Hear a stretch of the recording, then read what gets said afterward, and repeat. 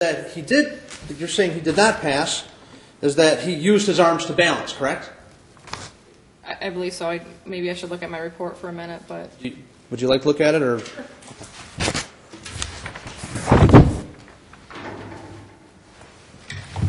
thank you.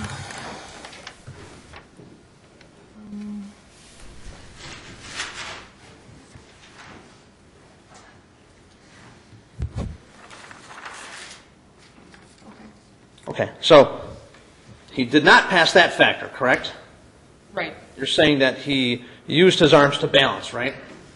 Uh, Yeah, right. He was off balance during it, and right. And uh, uh, he did not touch his heel to toe several times, correct? Right. Okay, so he failed that factor. Right. So he failed two factors, Right. he passed five factors. Right. Okay. Now,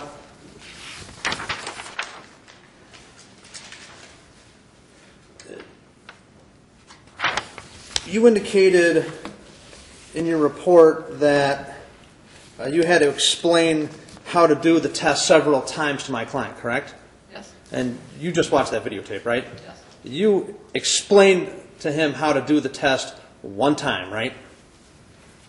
Yes. So you didn't have to explain to him multiple times how to do the test. You showed him how to do it once, and then he went and did it, correct? He was asking a few questions. I some of it I couldn't even hear what he was saying. Well, he might have been asking you some questions about it, but you didn't have to explain the test to him more than one time, right? Well, if I have to answer questions, I mean, people can have questions. It doesn't mean somebody's drunk. It's just I'm saying he's asking them, and yes, I had to further explain at that point. Sure. Well, you said in your report that you had to explain this test to him multiple times.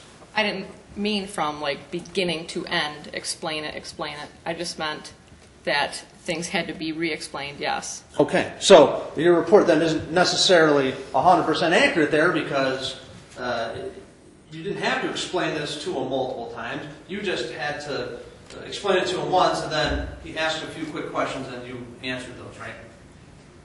You didn't explain it to him all the way again, right?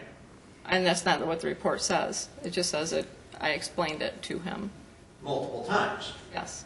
okay? But you didn't explain it to him did you? Not the entire test, no. Okay.